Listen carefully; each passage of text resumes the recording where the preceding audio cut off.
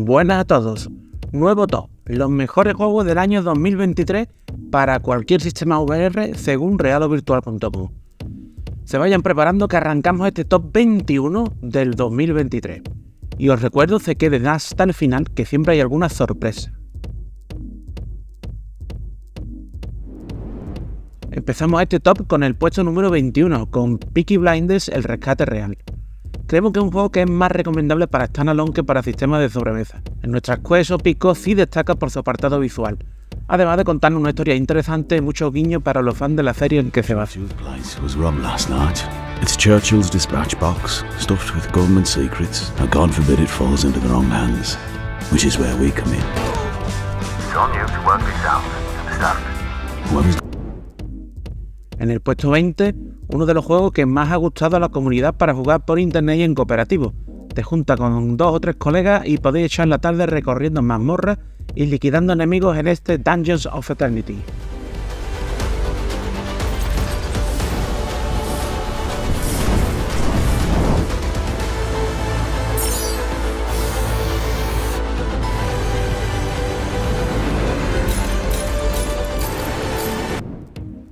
En el puesto 19, Crossfire Sierra Squad.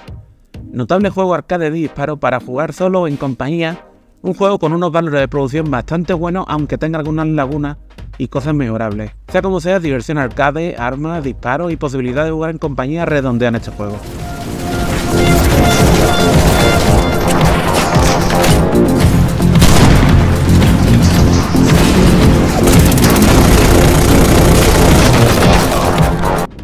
En el puesto 18, Another Fisherman Tales. Continuación de aquella primera historia del pescador, nos lleva a una nueva aventura de puzzles más larga con más historia y nuevas mecánicas. Puede que a alguno tanta novedad no le convenza, pero si os gustó el primero, esta segunda parte es más que recomendable y además cuenta con un mayor despliegue audiovisual.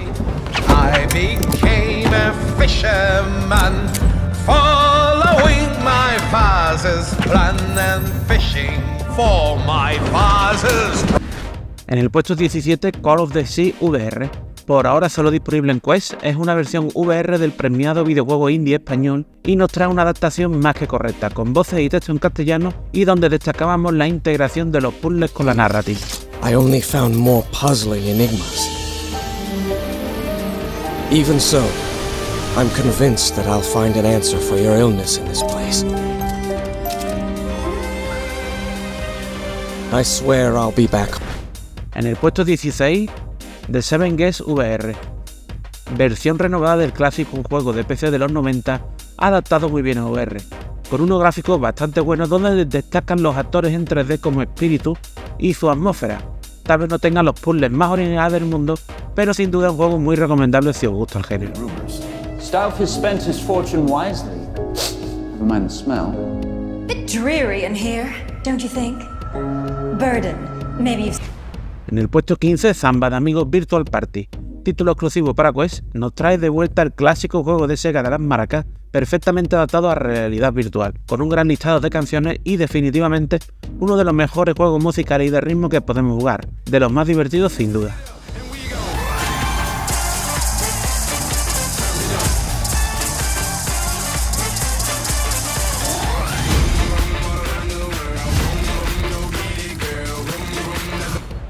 En el puesto 14, Pixel Rip 1978. La tercera entrega de esta saga que se dedica a revivir la nostalgia de otras épocas de videojuegos, esta vez desde la realidad virtual, siendo esta entrega la más pulida de todas, donde además colaboran oficialmente con la mítica Atari, para llevarnos a finales de los 70.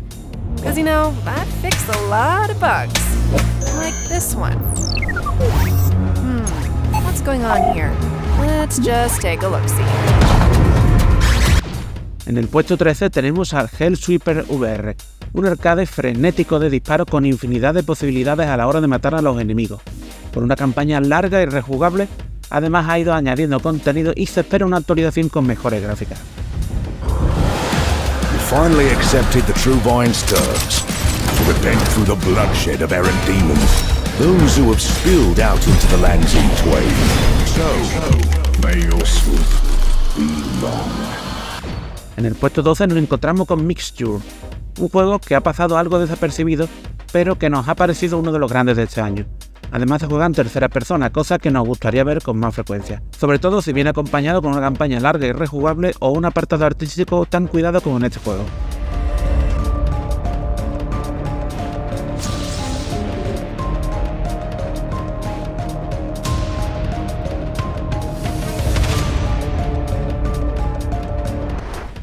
En el puesto número 11 tenemos a Vampire the Masquerade Justice.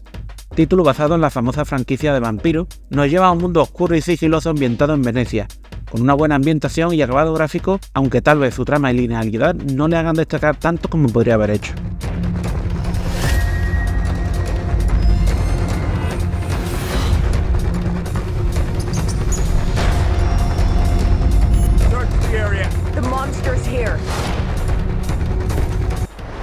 En el puesto 10, y ya entramos en los 10 mejores, lo hacemos con Synapse, juego exclusivo de PCVR 2 y que sabe exprimir todas las características del visor de forma elegante y fluida. Unos gráficos muy estilizados que nos llevan a través de unas partidas sumamente dinámicas, donde lo más que echaremos de menos es precisamente su longitud. Te puede gustar tanto que se te haga muy breve.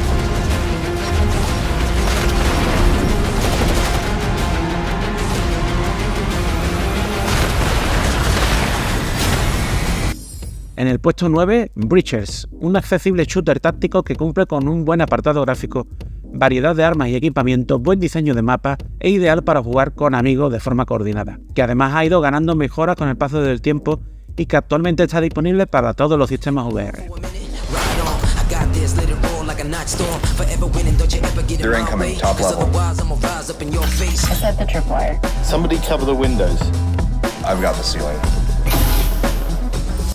En el puesto 8, Resident Evil 4 Remake VR, otro título exclusivo, en este caso para PlayStation VR 2, el modo de realidad virtual gratuito del gran Resident Evil 4 Remake de PlayStation 5 significa gráficos de alto calibre, textos y voces en castellano y un buen aprovechamiento de las características del visor de Sony, y en definitiva, para los fans de los Resident o los zombies, imprescindible.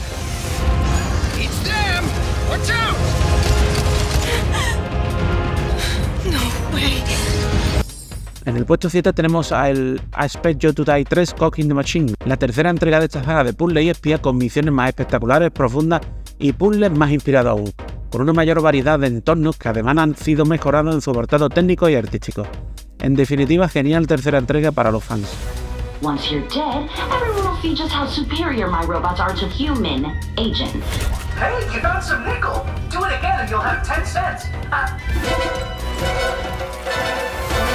En el puesto 6 tenemos Humanity, juego de puzzles que incluye modo realidad virtual que nos hará disfrutarnos aún más si cabe, con sus magistral diseños de niveles que a su vez son desafiantes pero accesibles, y que cuenta con un editor de niveles que ha hecho surgir una comunidad que ha ido creando fases a cada cual más loca.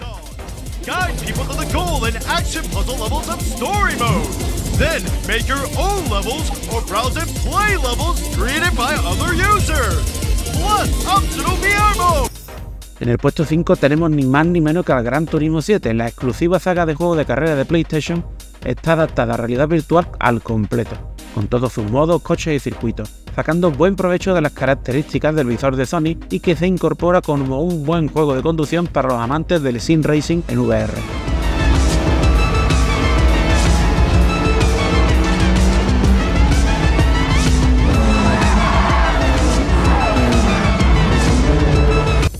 En el puesto 4, Horizon Call of the Mountain, el gran exclusivo de Sony para PlayStation VR 2, un spin-off de Horizon Zero Dawn, con su propia historia, muchas mecánicas de realidad virtual, gran aprovechamiento de las características del visor y unos gráficos impresionantes acompañados por su gran banda sonora y doblaje al español, que siempre es bienvenido.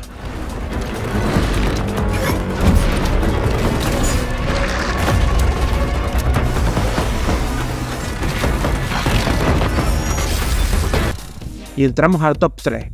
Resident Evil Village VR. Vuelve Resident Evil y nuevamente exclusivo para PlayStation VR 2. Esta versión adaptada a realidad virtual de Resident Evil 8 lo hace con un enorme despliegue gráfico, aprovechando las características a tope del visor de Sony, completamente en español y con un gran equilibrio entre terror y acción. Nuevamente imprescindible para los fans de la saga o los zombies.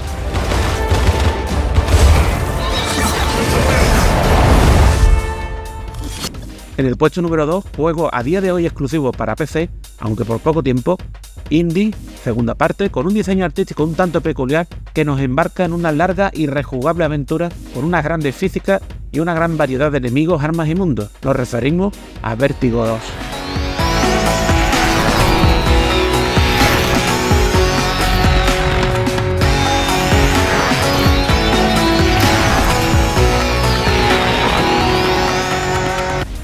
Y acabamos el top con el número 1, Assassin's Creed Nexus VR, exclusivo de Quest, la super famosa franquicia de asesinos virtuales que viajan por el espacio-tiempo, adaptado de forma magistral a la realidad virtual.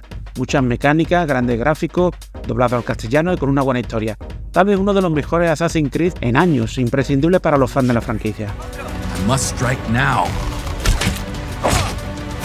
Cassandra, the Greek Mystios. The time for talking is over. Y bueno, me despido. En mi opinión ha sido un muy buen año en cuanto a juegos, sobre todo este último tercio del año. Grandes juegos para todos los sistemas, tanto para visores que empiezan este año como cierta madurez en el contenido por parte de algunas desarrolladoras. Saludos a los robianos y que la realidad os sea leve. Bonus.